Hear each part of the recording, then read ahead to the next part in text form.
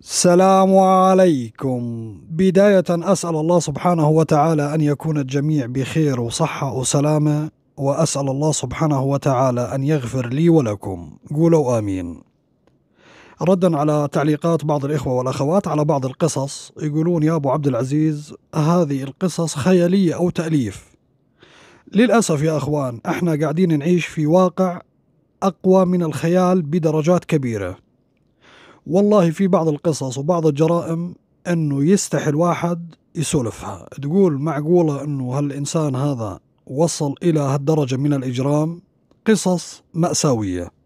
وبكل أسف مع تطور أدوات كشف الجريمة وتطور البحث الجنائي والبحث عن القتلة للأسف ما زال بعض الأغبياء حيشا من يسمع يرتكبون الجريمة وكأنهم عايشين في العصر الحجري ولا كأنه في بحث جنائي ولا كأنه في رجال أمن ولا كأنه في حدا بيوم من الأيام راح يكتشف جريمتهم. تقول معقولة الإنسان يوصل إلى هالدرجة من الغباء والإجرام؟ وحتى بعض المجرمين عندهم على قولة المحقق كريم عندهم ذوق جنائي عالي واحدهم يرتكب الجريمة بطريقة فظيعة وعجيبة إلى درجة أنه ما يتم اكتشاف القاتل أو المجرم إلا بعد عشرة ولا 15 سنة. قد تصل المدة إلى 30 سنة. واقع أقوى من الخيال كما ذكرنا للأسف. قصتنا الليلة صراحة من القصص الجميلة والقصص الشيقة وفيها أحداث مثيرة. لذلك قبل أن نبدأ في سرد أحداث القصة لا تنسونا من اللايك والاشتراك. بارك الله فيكم. وقصتنا الليلة الله يسلمكم لرجل من سوريا. وتحية لأهل سوريا وليهون السامعين جميع هذا الرجل اسمه منصور. منصور يعيش في إحدى القرى في محافظة السويداء جنوب سوريا. وهذا منصور الله يسلمكم في تقريبا منتصف السبعينيات 75 76 شاب سمعته في القرية سيئة. شاب متعجرف وصاحب مشاكل بالإضافة إلى أنه إيده طويلة يعني حرامي. وهذا منصور في هذاك الوقت في منتصف السبعينيات كان عمره تقريبا في نهاية العشرينيات من عمره 27 28 سنة. ومنصور يحب بنت عمه عنده بنت عم اسمها لينا لينا هذه بنت تطير العقل. ومن أجمل بنات القرية وبنت على قدر عالي من الأخلاق والرقي. كذلك أهل لينا إخوانها وأبوها وأمها عائلة محترمة جدا في القرية. بعكس ولد عمها هذا منصور. منصور مقطع موصل. وهذا يحب بنت عمه وبنت عمه ما تطيق الأرض اللي يمشي عليها. خطبها أول مرة ثاني مرة ثالث مرة. يقولوا له يا أخي مالك نصيب. روح شوف لك بنت غير هالبنت. وأصلا لينا هذه تكره الأرض اللي يمشي عليها منصور. يعني شاب مقطع موصل حرامي سمعته في القرية سيئة شنو له لزوم حتى ترتبط فيه؟ وهذا لا يقول لك بنت عمي ما بنت عمي كل ما يجي واحد يخطبها يسوي له مشكلة على حسب العادات والتقاليد إنه يحير بنت عمه وتروح الأيام وتجي الأيام وهذا حاول مرات عديدة إنه يخاطب البنت ويتزوجها لكن بدون أي فائدة. لذلك منصور حقد على بنت عمه وحقد على أبناء عمه وعلى العائلة كلها. وصار يخطط شلون بده ينتقم من هالعائلة ليش ما يزوجونه؟ وبنفس الوقت هذا يحاول يعترض طريق البنت لما تروح على البستان لما ترجع تروح على الدكانة يحاول يعترض طريقها. البنت تقول له يا عمي اشفيني شرك؟ وأنا ما أريدك الزواج ما هو بالغصب. والبنت جميلة وهذا شايفها ما هو مصدق وما هو منتبه للأفعال اللي يسويها ويفكر حاله أحسن شاب في هالقرية. المهم تروح الأيام وتجي الأيام. في يوم من الأيام يتوفى قريب إلى عائلة أبو لينا. الرجل هذا المتوفي يصير في إحدى القرى كذلك البعيدة عن قرية أهل لينا ومنصور. والرجال عزيز عليهم وقرابة لهم وفي معزة. المهم سمعوا خبر الوفاة هذاك اليوم وقالوا لازم نروح. ويقومون يروحون العائلة كلها إخوان لينا وأم لينا وأبوها وما ظلت إلا البنت بمفردها في المنزل. وهذا منصور قاعد يراقب الوضع من بعيد. ولما شاف العائلة كلها راحت وما ظلت إلا البنت بدأ يخطط شلون ينتقم من لينا ويعطيها درس ما تنساه بحياتها. إنه ليش؟ رافضته وما هي راضية تتزوجه. المهم الجماعة راحوا وصارت الدنيا تالي نهار وهذا صار حول البيت رايح راد ويشوف الوضع شلون. تعرفون سكان القرى وخصوصا في منتصف السبعينيات الوقت ما كان مثل الآن مواقع تواصل وتلفزيونات ذكية. الناس مع صلاة العشاء تكون نايمة القرية كلها. الجماعة يطلعون من الصبح على بساتينهم يرجعون مع غياب الشمس متكسرين تكسر. المهم أظلمت الدنيا. آه، سكان القرية ناموا. ما ظل فيه إلا الله يعزكم أصوات الكلاب تنبح والصراصير. وهذا لما أمن على سكان القرية ناموا وخصوصا المنازل المجاورة. ويجي على البنت هذه لينا دق الباب فتحت الباب لينا. ولا هذا منصور بوجهها. خير يا منصور إيش عندك؟ قالها يا بنت عمي أنت يعني ليش مكبرة راسك وتعاندين وما أنت رضيانة فيني ومدري إيش؟ وحاول يستلطفها. قالت يا منصور إيش فيني شرك؟ ما في غير أنا في المنزل وما أقدر أدخلك على المنزل. قالها أنا ما ودي أدخل ودي بس أتفاهم أنا وياك كلمتين على الماشي. ويقوم يدفع الباب ويدخل البنت داخل المنزل ويقفل الباب.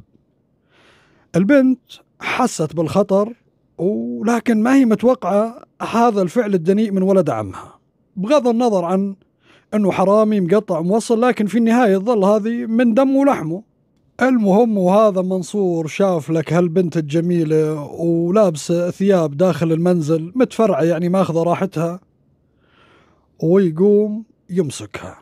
قال لها والله العظيم الآن أذبحك وأشرب من دمك. لا أسمع صوتك. يا ابن الناس يا منصور يطولك يقصرك قال لها اللي ودي يا ودي آخذه.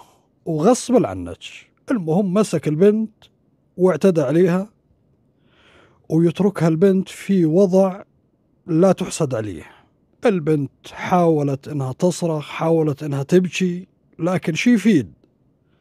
بعد ما هذا سوى فعلته والناس لا سمعت ما ترحم. والمسكينة هذه شنو ودها تساوي ما هي عرفانة. وأهلها ما هم موجودين ودهم يوم يومين لحد ما يرجعون. المهم مرت عليها ليلة هذاك اليوم ليلة سودة. في صباح اليوم الثاني البنت مقفلة على حالها الباب وخايفة أنها تطلع برا. صارت الدنيا الظهر شوي ولا جايين أهلها إخوانها وأمها وأبوها. لما دخلوا على البيت البنت نايمة في غرفتها. ما هي نايمة هي أصلا ما هو جايها نوم. لكن قاعدة تفكر شلون ودها تحل هالمشكلة وشلون ودها تواجه أهلها. المهم وتدخل عليها أمها خير يا بنتي شنو السالفة؟ شنو الموضوع؟ البنت قد ما هي باتشية عيونها صايرة حمر. البنت صارت تبكي وقالت لأمها والله يما الموضوع كذا وكذا وكذا. هذا منصور دخل علي واعتدى علي وصار اللي صار. أو تطلع لهم على إخوان لينا. قالت ولاد النشام أشوفكم. خير يا يما قالت هذا الحقير منصور حيشة من يسمع مساوي كذا وكذا. ودي ما ترجعون على البيت إلا جايبي لي راسه.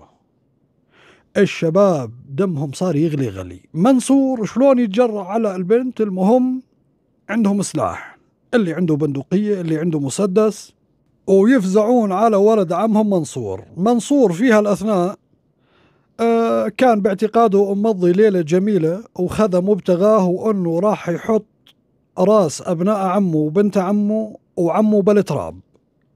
وأنه البنت ما راح آه، يعني تسترجي إنها تبلغ إخوانها وأمها بهالسالفة لأنها راح تنفضح وتصير سالفة على كل لسان. لكن بنفس الوقت كان مجهز نفسه وماخذ احتياطاته. هذا منصور عنده كذلك بندقية حاشيها طلقات وملقمها والطلقة ببيت النار. وعنده حصان كذلك الحصان هذا مجهزه وحاط السرج عليه. في حال هجموا عليه ولاد عمه تكون الأمور جاهزة يركب هالحصان ويهرب. أول ما جو على البيت وهذا قاعد على السطح على سطح المنزل ويشوف أبناء عمه جايين اللي يركض اللي حامل مسدس اللي حامل بندقية. هذه لينا عندها ثلاث أربع أخوان واحدهم بعشر رجال. وهذا متمترس فوق السطح ولما شافهم جايين عليه ويبدأ يطلق النار عليهم. صاوب أول واحد الثاني الثالث والرابع بلشوا بإخوانهم واللي تصاوبوا. ويقوم هذا يركب الفرس ويهرب ويقوم واحد من إخوان لينا اللي ما تصاوبوا يسدد البندقية على منصور ويصيبه بطلقة لكن الطلقة هذه ضربت في الساق وطلقة ما هي قاتلة وهذا عنده فرس ويطير بين السماء والأرض ما في غير العجاج وراه الغبار يعني. فزع سكان القرية وقامت الدنيا وما قعدت. على أصوات إطلاق النار الدنيا الظهر يا ساتر شنو اللي صاير؟ لما فزع سكان القرية ولا هذول إخوان لينا مبطحين بالأرض اثنين قاعدين ينزفون من هالدماء. وفيها القرية فيها تقريبا ثلاث إلى أربع سيارات ويقوم واحد من سكان القرية اللي عنده سيارة يركب الإخوان الاثنين هذول وإخوانهم اثنين اللي معاهم وعلى المستشفى على مدينة السويداء. لحسن حظهم كانت الطلقات أو المكان الطلقات غير قاتل. وتم إجراء الإسعافات الأولية واللازمة لهالشباب والله سبحانه وتعالى نجاهم بإعجوبة. وبدأ البحث على منصور. منصور فصم الحداب اختفى. حاولوا يلحقونه بعض شباب القرية لكن ما حدا قدر يلحقه وهرب واختفى من الوجود. وبدأ رجال الأمن يبحثون على منصور من هين ومن هناك وهذا منصور لا حس ولا علم ولا خبر. إخوان لينا بعد فترة من الزمن طلعوا من المستشفى وتشافوا وتعافوا. أما بالنسبة للبنت لينا لينا هاي المسكينة صارت مثل الوردة الذبلانة. البنت تبكي بالليل وبالنهار. وتعال اقنع البشر عاد إنه البنت ما هو بكيفها. والسكان القرية في غالبيتهم يعرفون أنه البنت هذه ما تريد ولد عمها وما تطيقه. لكن المجتمع ما يرحم. والبنت أصبحت في نظر شباب القرية على الرغم من جمالها وأخلاقها العالية خلاص أصبحت فتاة غير صالحة للزواج.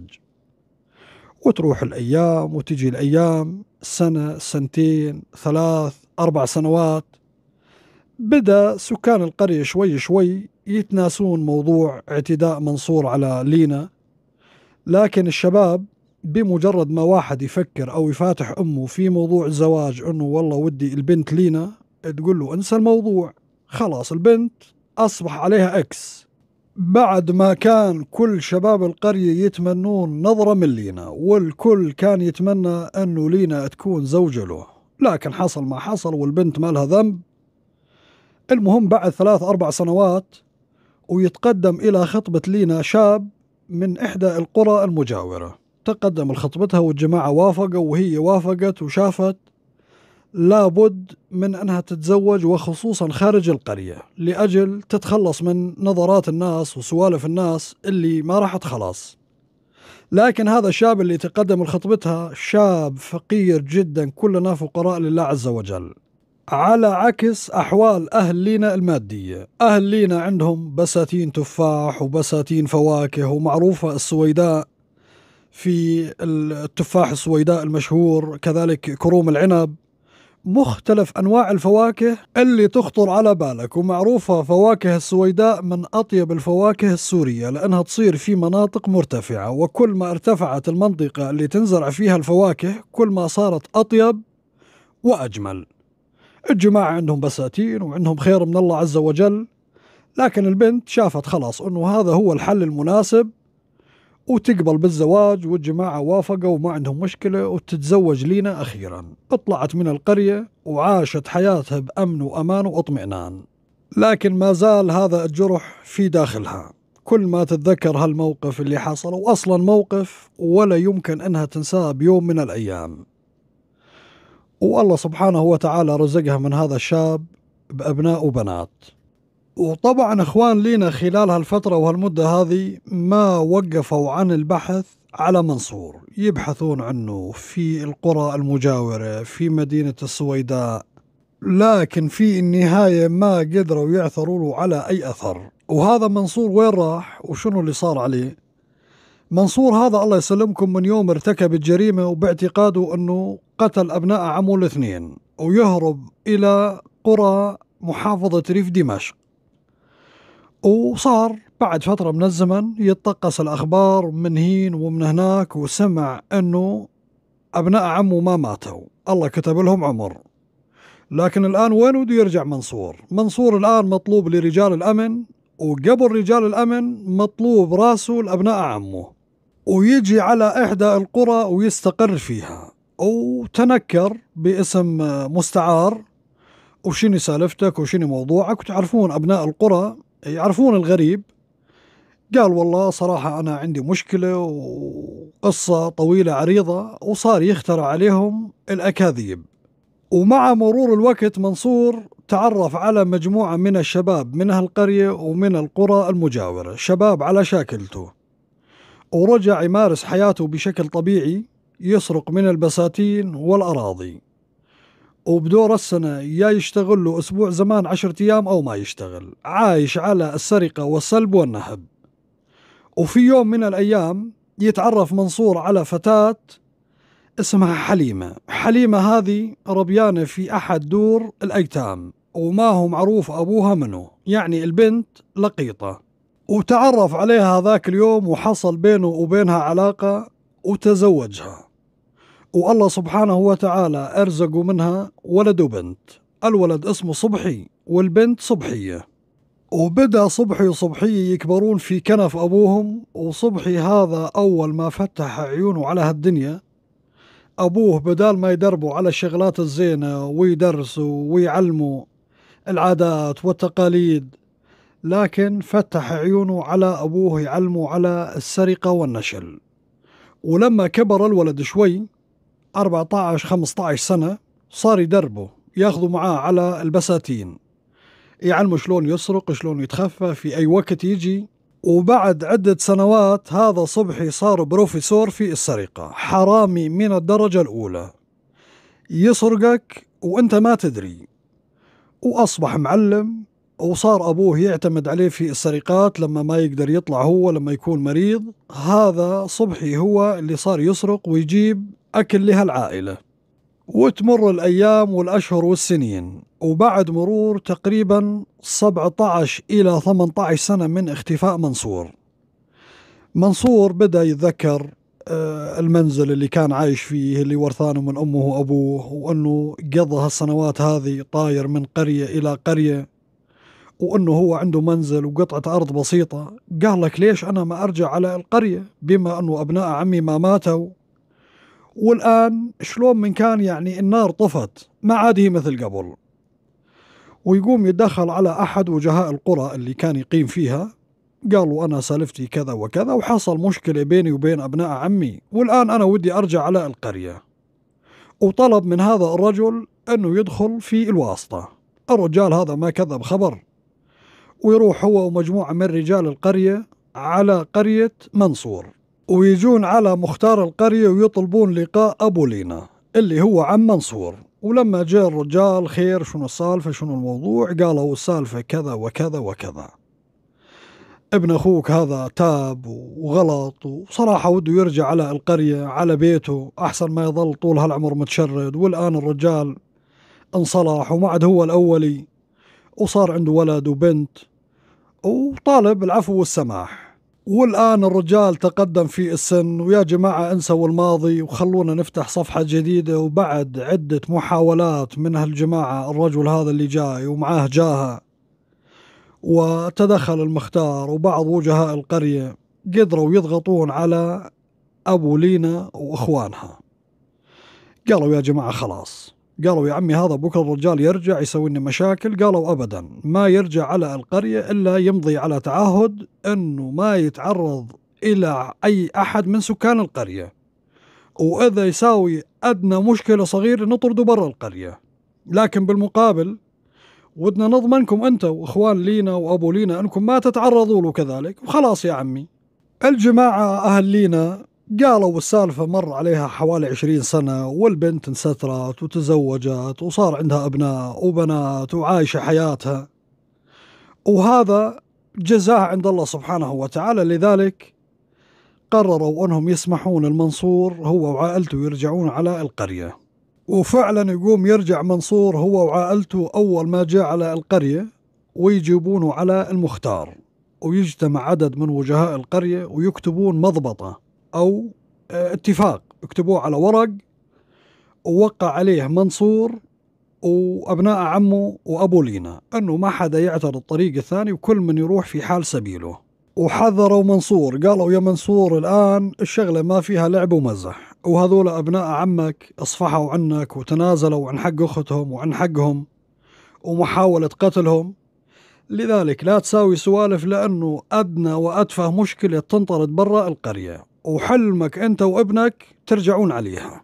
قالهم خلاص أنا معدن منصور الأولي وإن شاء الله ما تشوفون مني إلا كل خير. وفعلا هذا اللي حصل. منصور أول ما رجع على القرية الرجال بحاله ما عنده مشاكل ما يعترض طريق حدا بالإضافة إلى أنه ابنه صبحي هذا اللي صار تقريبا في بداية العشرينيات 22 23 سنة. هذا صبحي سمعته في القرية صارت مثل المسك. شاب من أحسن شباب القرية. وبدأ سكان القرية يسولفون بسيرة صبحي. على راح صبحي وجه صبحي وهالشاب المحترم الأنيق الأكابر. وسبحان الله صاروا يقولون الشوكة تخلف وردة؟ والشاب يحاول يتقرب من سكان القرية الناس المعروفين الوجهاء والكل صار يشيد بأخلاق صبحي. وتروح الأيام وتجي الأيام أبو سنة زمان ويتقدم منصور لخطبة فتاة من فتيات هالقرية اسمها عفاف. عفاف هذه بنت على قدر من الجمال لا يستهان فيه. تقدم لخطبتها وبناء على سمعته الحسنة في القرية أهلها وافقوا وتزوج صبحي. وهذا صبحي بعد ما تزوج من عفاف بدأ يعاملها في البداية معاملة حسنة. لكن مع مرور الوقت بدأت تكتشف أنه هذا صبحي ما هو مثل ما تسمع عنه في القرية وأنه الشاب المحترم. لكن هالمعاملة صارت تختلف مع مرور الأيام من سيء إلى أسوأ وعفاف صارت تكتشف بعض الأمور اللي ما لها تفسير. هذا صبحي يغيب بالليل بعض مرات. يجي على البيت جايب بعض الفواكه بعض الخضار. من وين هذا جايبه يا صبحي؟ يقولها والله اشتريته من فلان وفلان أعطاني إياه. المهم أنت شو ودك؟ أنت ودك تاكلين العنب ولا تكونين الناطور؟ تقولوا لا ودي العنب لكن بنفس الوقت ما ودي هذا يكون حرام أخاف تسرق قالها مو عيب عليك. أنا صبحي الشريف النظيف العفيف. أنا أسرق؟ تقولوا لا أنا ماني متهمتك بالسرقة لكن أخاف. يعني قالها لا لا تخافين ولا من يحزنون. حطي إيديك ورجليك بمي باردة. هذا الرزق حلال مصفى. المهم هذا صبحي عايش هو وأبوه وأمه وأخته وزوجته في نفس المنزل. أخته بعد مدة من الزمن خطبها واحد من أبناء القرية وتزوجت. وظل صبحي وأمه وأبوه وزوجته. وطبعا هذا الشاب أول ما رجع على القرية أبوه سواله فتلة في يعني بين البساتين وهالاراضي وهاي أرض فلان وهاي أرض فلان وهذا كرم فلان. يطلعون على هالمزارع وسواله جولة كاملة. ورجع على السرقة هو وأبوه. يسرقون بالليل وبالنهار هذا صبحي ملاك وحمل وديع والكل يشيد بأخلاقه. لكن بنفس الوقت سكان القرية بدأوا يشعرون أنه البساتين هذه قاعد تحصل فيها سرقات. وحاولوا أنهم ينطرون الحرامي والمثل يقول الحرامي له نص الدنيا. اثنين بهالدنيا ما ينطرون الحرامي والمرأة. الحرامي ما له وقت وحظه قوي والمرأة ما تقدر يعني مهما حرصت عليها مهما سويت إذا ودها تسوي شيء لابد أنها تسويه لولك تقفل عليها بسبع قفال. المهم سكان القرية ينطرون بالليل وبالنهار أنهم يمسكون الحرامي اللي قاعد يسرق من بساتين هالتفاح وكروم العنب ما قدروا يلقوا أي أثر. ليش؟ لأنه صبحي وأبوه منصور حرامية من الدرجة الأولى وحاصلين على درجة البروفيسورية ولا ممكن أنك تلقى لهم أثر. محترفين. بالليل شياطين وحرامية وبالنهار ما عندهم السالفة. وخصوصا الولد صبحي. صبحي يتجول في القرية يروح على مجلس المختار على الديوان اللي يكون عامر فيها القرية ويتقرب من الكل وخارج دائرة الشك أبدا. مستحيل حدا يشك بصبحي هذا. أما بالنسبة لأبوه منصور منصور صار رجل كبير وما عاد يقدر يعني مثل قبل لما كان بأيام الشباب. لذلك الجماعة خارج دائرة الشك. المهم تروح الأيام وتجي الأيام. عفاف وصبحي صار عندهم أبناء اثنين. الولد دخل في المدرسة في الصف الأول والولد الثاني صار فيه روضة في القرية. في هالقرية فيه شاب ينقال سميح. سميح هذا شاب في قمة الأدب والاحترام. وهذا يعمل مدرس ومتزوج فتاة من فتيات القرية كذلك مدرسة اسمها سوسن. وعايشين حياتهم بسعادة وأمن واطمئنان. والجماعة ما عندهم مشاكل أبدا والله سبحانه وتعالى رازقهم بأبناء وبنات. وهذا سميح عنده كذلك بساتين تفاح وكروم عنب والله سبحانه وتعالى فاتح عليه الأبواب من أوسعها. فهذا المدرس سميح وزوجته تشاور هو وياها في يوم من الأيام وقرروا أنهم يفتحون روضة فيها القرية. طبعا القرية كبرت وصار عدد سكانها بالآلاف ويقومون هذاك اليوم يفتحون الروضة فيها القرية وصاروا أهالي القرية يحطون أبنائهم في الروضة. وجاب مدرسين وأشخاص مختصين في هالموضوع وهو وزوجته اللي يشرفون على الروضة. والروضة هذه بفلوس ما هي ببلاش في أقساط شهرية وهذا صبحي حط ابنه في روضة سميح. وبسبب الأحوال المادية التعبانة لصبحي فكان يتأخر في دفع الأقساط.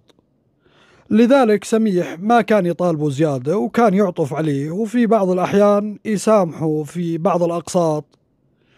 وشوي شوي بدأ صبحي يتقرب من سميح. سميح إنسان معطاء وصاحب خير وشفق على صبحي. وصبحي استغل الفرصة وصار يتقرب من الأستاذ سميح. رجال عنده أرض وعنده مزارع وبحاجة إلى عمال.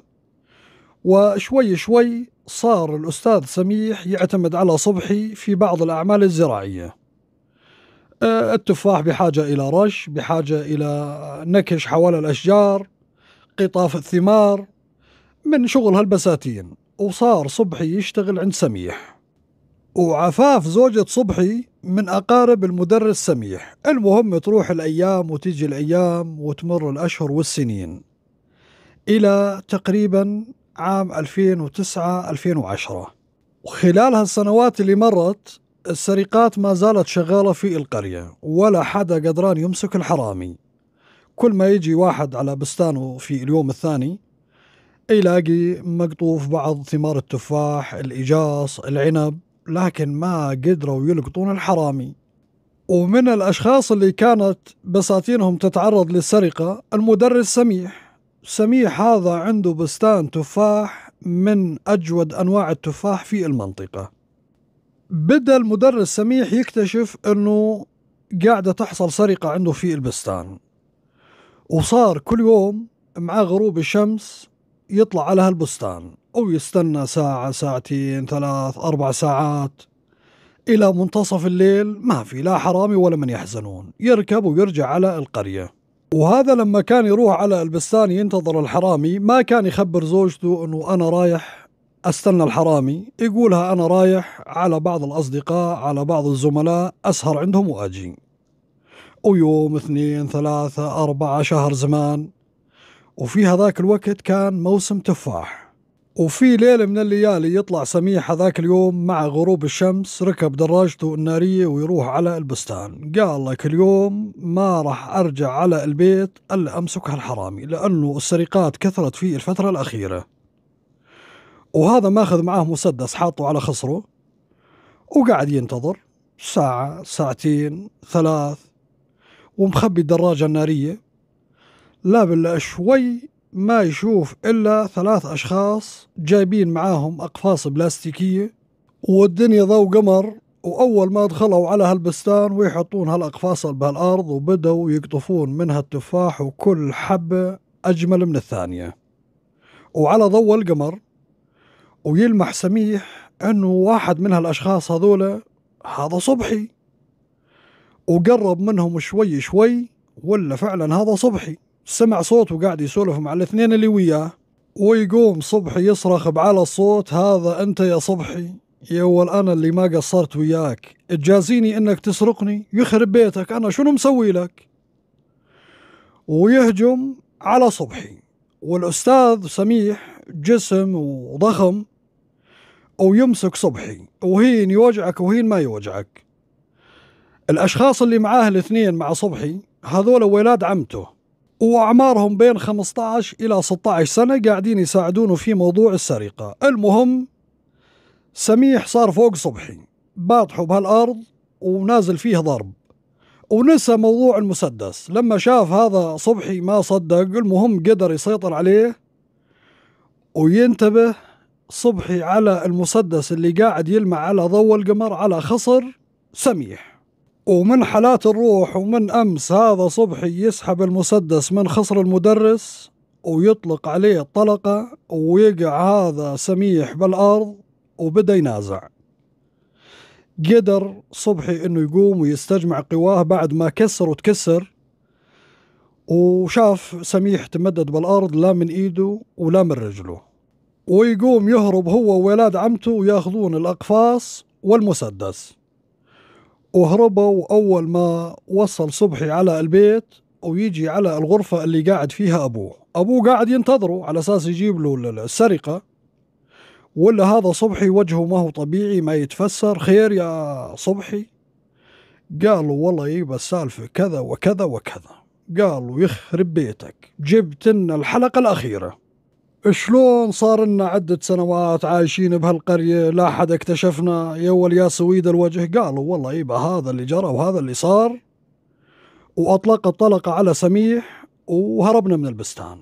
قالوا طيب هذا سميح مات ولا شلون؟ قالوا والله ما أدري. أطلقنا عليه طلقة وهربنا.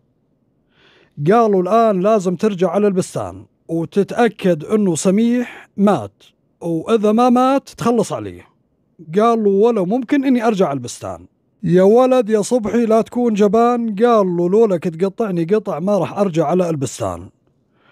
ويقوم منصور قالوا الآن خليك في البيت واعطيني هالمسدس وخليني أروح أتأكد إنه الولد مات. لأنه إذا صحى راح تصير لنا سالفة لها أول ما لها آخر. ويقوم يروح منصور على بستان سميح واستدل من ابنه على المكان اللي قتل فيه سميح. أو أطلق النار عليه في إحدى الأماكن فيها البستان ومن شجرة إلى شجرة ولا هذا سميح ما زال عايش وقاعد يئن. الرجال فيه تالي روح والظاهر الطلقة ما هي قاتلة.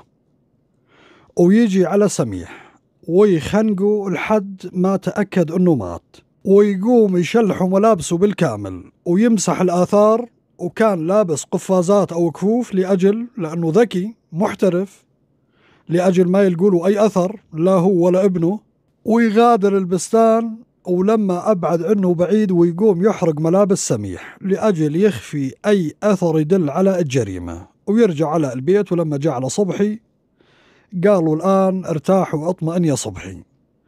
الرجال مات وما حدا راح يدري عنه ولا حدا راح يعرف إنه أنت اللي قتلته. حط إيديك ورجليك بمي باردة. المهم زوجة سميح استغيبته بالعادة ما يطول هالقد ساعة ساعتين ثلاث أربع ساعات يعني كحد أقصى للساعة 12 يرجع سميح. وتمسك التلفون عندها تلفون بدأت تتصل عليه ما يجاوب. أول مرة ثاني مرة ثالث مرة انشغل بالها عليه قالت ما في بالعادة.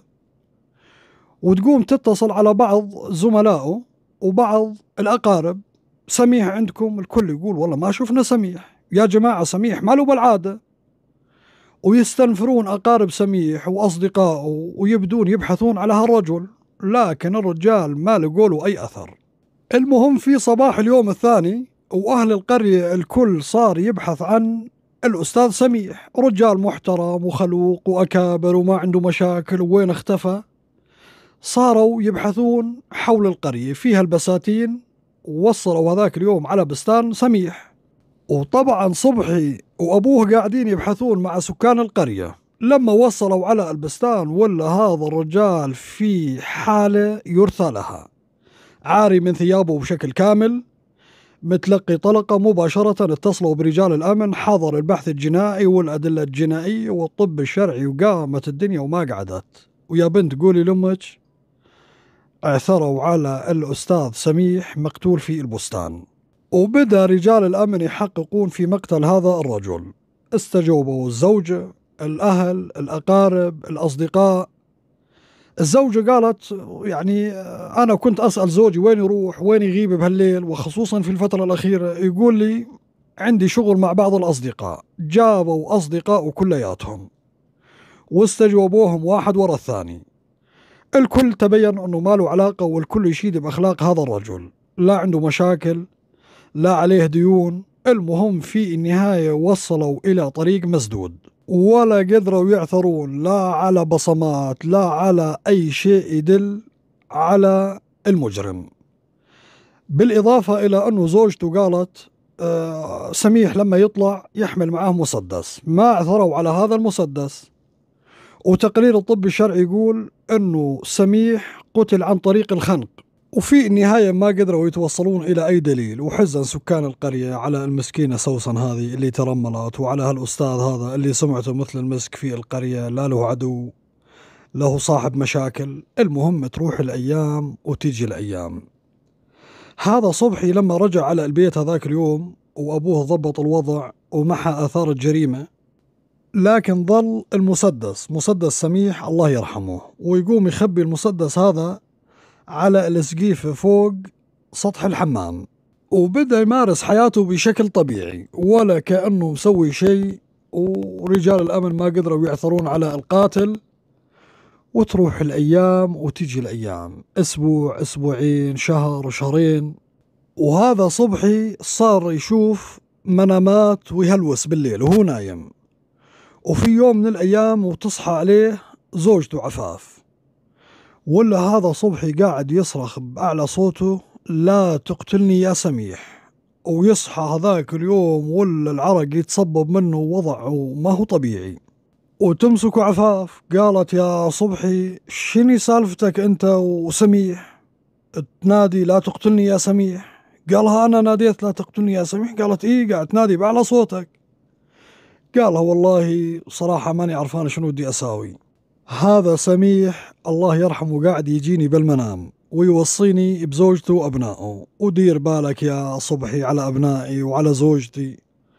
وصراحة شوفت عينك العين بصيرة والإيد قصيرة وأنا ما عندي فلوس أصرف عليهم ولا عندي شيء والرجال هذا قاعد يجيني كل يوم في المنام. واليوم جايني يساحب علي سكين وقاعد يهددني بالقتل. وبصراحة ماني عرفان شنو بدي أساوي. بكرة من الصبح راح أروح على زوجة سميح وأبنائها وأتفقدهم خاف لازمهم شي. وكفى نومته هذيك الليلة وصار كل ليلة يهلوس تجي هلوسات. وهذاك اليوم لما حست عليه زوجته إنه قاعد يسولف باسم سميح صار يحاول ينام في غرفة مستقلة لأجل ما تسمع وتقول لك خاف. أنه يسولف بليلة من الليالي بأحد هالهلوسات اللي تجي يسولف اللي صار معاه صار ينام بغرفة لحاله. وزوجته عفاف حست على هالوضع وزوجها ما عاد هو الأولي. وبعد ما صارت هالحادثة هذه قبل كان يضربها ويبهدلها. لا بل بعدين صار يتودد منها ويتقرب لها وما عاد يغلط عليها مثل قبل. قالت لك إيش بدل هذا الرجال 180 درجة؟ والرجال صار يسايرها وصبحي هذا صار حمل وديع. تطلب عفاف؟ يحضر. وصار يجيب لها الهدايا والأمور صارت عال العال بينه وبينها. وهذه عفاف شاكة بالموضوع. لكن ما عندها دليل إلا الهلوسات هذه وقالت لك يمكن بسبب المعزة والشغل اللي كان يشتغله صبحي مع سميح. فتقول لك كل شيء وارد. المهم في يوم من الأيام عفاف قاعدة تعزل البيت وتطلع على السقيفة في اللي فوق الحمام وقاعدة طالع منها بعض الأغراض وتعثر على كيس ولا الكيس هذا فيه مسدس. تعرف صبحي زوجها ما عنده مسدس ولا عنده سلاح. وتتذكر سميح لأنه شاعت الأخبار أيامها أنه سميح لما انقتل كان معاه مسدس وما عثروا على المسدس. وصارت تربط الأحداث ببعضها. هلوسات صبحي وينادي بالليل سميح؟ قالت لك معناته هذا المسدس يمكن يكون مسدس سميح الله يرحمه. وتقوم البنت تشيل المسدس وتخبيه على جنب بحيث إنه آه هذا صبحي ما يستدل عليه. وبعد حوالي 15 إلى 20 يوم هذا صبحي صار يفكر ويقول لك خاف البنت اكتشفتني خاف إنه أروح أسولف لي سالفة وتعرفني أخاف أنكشف. وصار يفكر إنه يطلع برا البلد وقال لك خليني أروح على لبنان خليني أغيب عن العين فترة من الزمن. ويتذكر هذاك اليوم المسدس اللي حطه على السقيفة. ويجي يبحث عليه قال لك خليني آخذه معاي أو أخبيه في مكان خاف المرة هذه تعثر عليه ما تعرفون كل شيء يصير. ويجي يدور على المسدس بسم بأرض ما له أثر. وينادي على عفاف يا عفاف خير؟ قالها في مسدس حاطه على السقيفة أنا. وينه؟ قالت أي مسدس وأي كذا أصلا أنت من إمتى عندك مسدسات؟ قالها لا المسدس مو هو لي. أنا بالفترة الأخيرة قاعد أشتغل في تجارة الأسلحة وهذا المسدس ما هو لي. الواحد من أصدقائي وخذيت منه على أساس أبيع له إياه وأتربح من وراه كم قرش.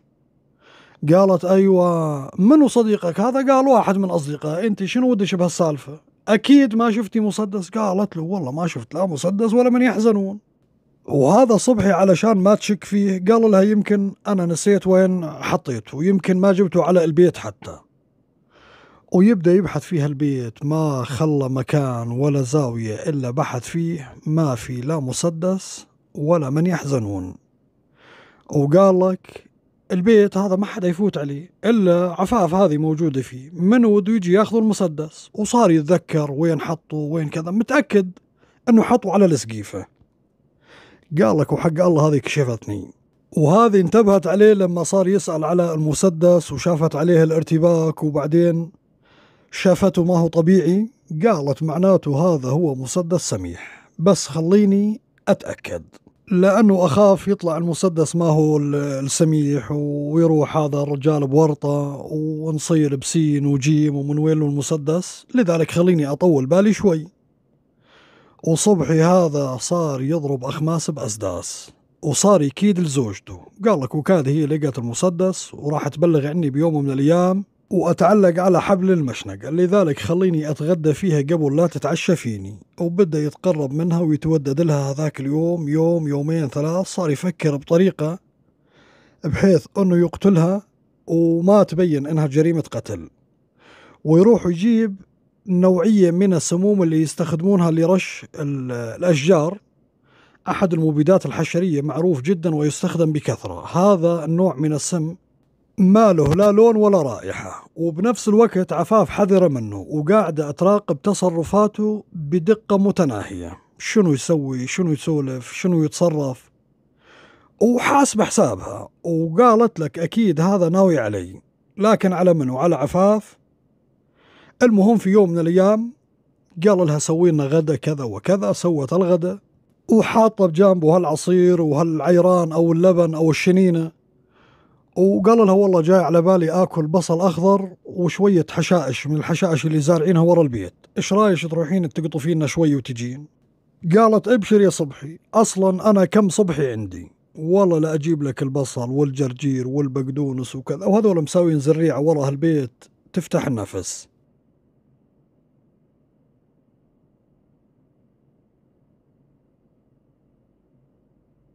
المهم وتطلع على أساس إنها رايحة ورا البيت تجيب له الحشايش والبصل. لكن وقفت عند الباب. بعد ما ردت الباب تقريبا نصف رده. وتنتبه عليه ويقوم يطالع إصرار من جيبه كيس صغير فيه مثل البودرة البيضة. وصار يرشرش على الصحن اللي ودها تاكل فيه.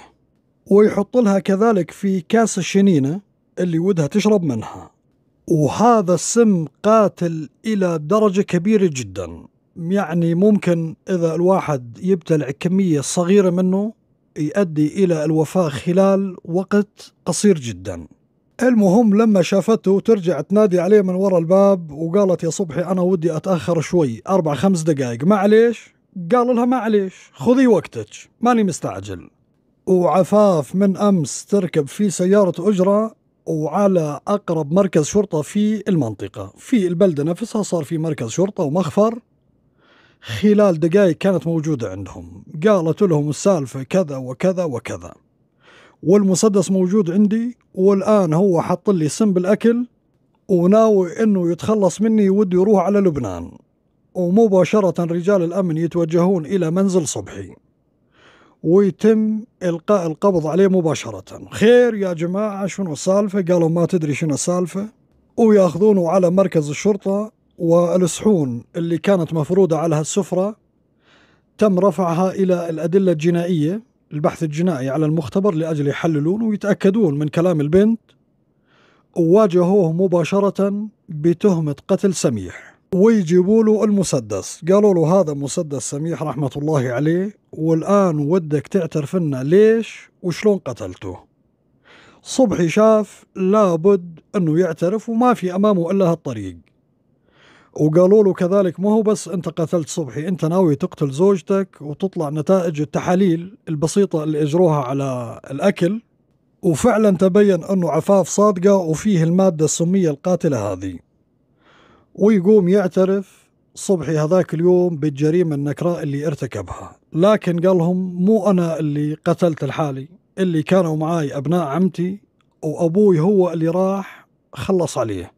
وهو اللي حرق الملابس وهو اللي أخفى آثار الجريمة ويتوجهون كذلك إلى المنزل مرة أخرى ويلقون القبض على منصور. منصور أول ما شاف رجال الأمن حطوا الكلبشات بإيديه ويغمى عليه ويتم إسعافه إلى أقرب المستشفيات. لكن منصور وصل المستشفى متوفي بجلطة قلبية. ويروحون الآن على أبناء عمة صبحي ويلقون القبض عليهم. ويتم تقديم صبحي وأبناء عمته الاثنين للمحاكمة. وبعد محاكمات طويلة وعريضة تم الحكم على صبحي بالسجن المؤبد مع الأعمال الشاقة مدى الحياة. أما بالنسبة لأبناء عمته بما أنهم قاصرين وثبت أنه ما لهم علاقة في الجريمة تم الحكم على كل واحد منهم بالسجن لمدة سنتين ونص بسبب تسترهم على الجريمة. أما بالنسبة لمنصور منصور هذا بعد ما توفي بجلطة قلبية طلبوا من أقاربه وسكان القرية أنهم يستلمون الجثة لأجل يدفنونها. رفض كل سكان القرية أنهم يستلمون الجثة.